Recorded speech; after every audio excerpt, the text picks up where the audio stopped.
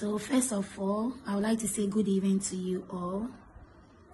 And also, um, I'll pardon me to speak English, though my English is no good. Everyone knows for three years now.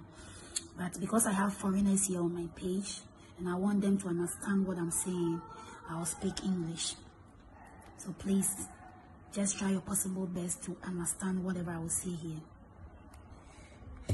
All about my post for wishing my son today a happy birthday in the morning.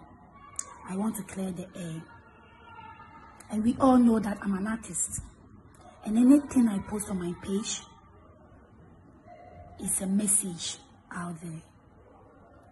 As an artist, whatever I post is an artistic impression. Yes, I always try to send a message out there as a mother.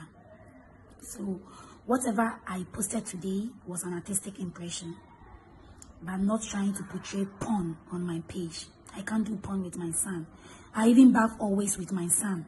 He's my son. I bath him. We bath in the bathhouse always. So, but what I want to say is, I was trying to send a message to kids and children, even grown up people who don't regard their parents, especially their mothers. Some people will see their parent out there mad, naked, and because they are naked, they'll run away and they won't take care of their parents, they won't clothe them.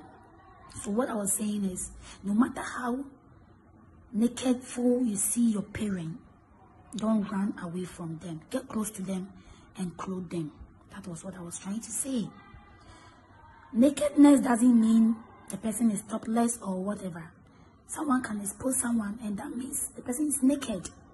So that was what I was trying to send out there. Because I'm an artist.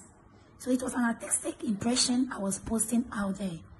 But not porn. But all the same, I want to say that I'm so sorry if I I hate or anyone got hurt with my post this morning. And also want you to know that it wasn't bad intention. I was just trying to send a message out there. That's all.